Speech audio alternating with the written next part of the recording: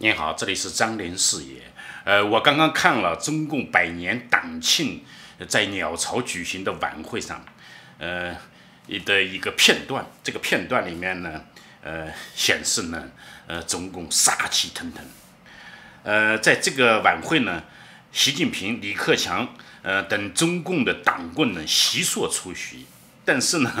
呃，中共的一些最重要的元老，历来呢都是排在这个习近平后面位置的，比如说胡锦涛或者江泽民等等。这一次呢，全部这个呃没有缺席。呃，早就有消息说，中共的这个八大元老呢将要抵制这次晚会。这些人包括中共，呃，就是说最重要的元老江泽民、胡锦涛，还有朱镕基、吴邦国、温家宝等人。呃，这个呢情况是相当严峻的，呃，是四十年来首次。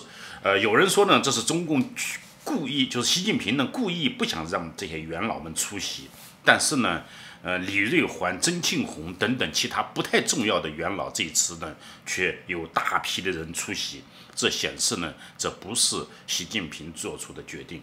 也而且呢，习近平最近的这个脸色非常难看，除了会见普京的时候像一只哈巴狗一样的脸上拼命挤出笑容来，其余的时候呢都脸色阴沉，显示呢他处处不顺心。嗯，至少呢这次晚会，嗯，这个江泽民、胡锦涛、朱镕基都没有给他捧场架势，应该说对他一次是一次沉重的打击。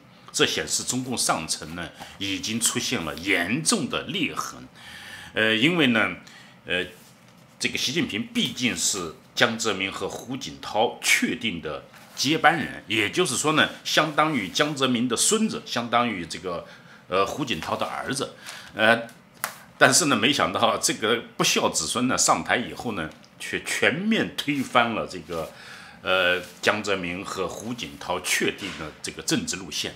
也就是说呢，他们都深感屈辱，而且呢，他们的家族利益也受到沉重的威胁。比如说，马云遭到打击，就跟他是，呃，属于江家集团有关系。因为马云一直都是江家的白手套，呃，他的主要后台老板之一呢，就是江家的江泽民的孙子。呃，另外呢，嗯，关于这次呢，这个中共的这个晚会的这个内容呢。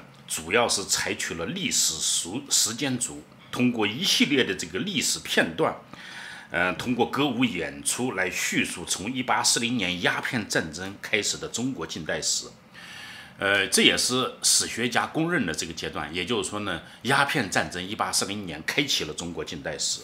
但是呢，呃，这个晚会呢，呃的叙述的主题呢，却是说西方呢以前怎么欺凌中国，把中国办成殖。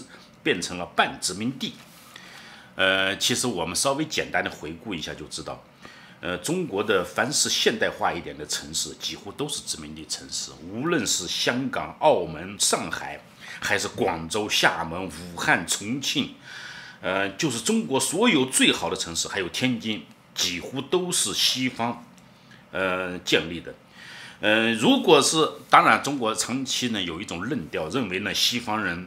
嗯，在这些个城市呢，掠夺中国财富。以前我在监狱的时候，曾经跟一个被捕的派出所副所长，嗯，争论。他说，大英帝国从香港这个掠夺了多少财富啊？呃，我就问他，我说，香港本来是蛮荒之地，英国人如果在那拼命掠夺财富的话，应该把当地人掠夺得一干二净，贫困潦倒。甚至纷纷出走，因为那时候呢，香港居民也就几千人而已。我说英国人能够掠夺什么财富呢？嗯，而且呢，我说世界上有这么一个这个国家，能够跑到一个荒刀野荒荒山野岭上面，然后呢，开始拼命的掠夺，掠夺到最后呢，当地人越来越富裕，越来越富裕，而且呢。四面八方的人呢，因为听说那个地方掠夺的非常残酷，非掠夺的就是比例非常高，然后呢，都纷纷跑到那个地方去接受掠夺。我说，你能向我指出来世界上还有这样的先例吗？他当时像傻子一样瞪大眼睛看着那个监狱的那个墙壁，说：“这你这个说法我没听说过。”我说：“那你用你的脑子想一想，这个世界上有这样的掠夺吗？如果这样的掠夺，呃，存在的话，那么全世界人民不都渴望这样的掠夺吗？我说我我说我还问你一个问题，有几个中国人会拒绝接受香港的居民身份证？假如有机会，百分之九十九的中国人都会毫不犹豫，想都不要想，就会成为香港居民。这不就是主动送上门去接受掠夺吗？我说有没有这回事？嗯，他说是这回事。OK，我说，所以说呢，你以前所受到的所有共产党的洗脑宣传都是荒谬的。嗯，西方国家呢不存在在这些地方的掠夺，嗯，他们不过是与在这些地方建立了一种西方文明的制度。然后呢，给了这些人自由，让他们创造财富。而且呢，英国在香港呢几乎是实行免税政策。为什么全世界，呃四分之一的领土都被英国占领？英国又政府长期困于，呃这个经济上的这个，也就是税务不足呢？就是大英帝国，我记得他以前曾经他的军队在他最强大的时候，他的这个国家的军队编制仅仅只有区区三十万人，这是为什么呢？为什么在这种情况下，他还要给予香港免税港的地位呢？因为很简单，因为英国人认为呢，中国人是最愚昧的、最贫困的、最苦难的，所以要给中国人最好最好的优惠，拒绝从香港收税。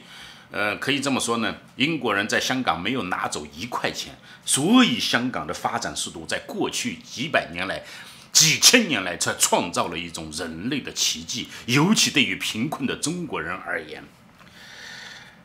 呃，这台那个中共的这个晚会上的呢，第五个节目呢，呃，就是呃跟香港有关，因为什么呢？他是香港流氓成龙与台湾的贱人张韶涵共同演出，呃，献唱。但是他们献唱的是什么呢？献唱的是关于红军历史上的崛起壮大、长长征的故事。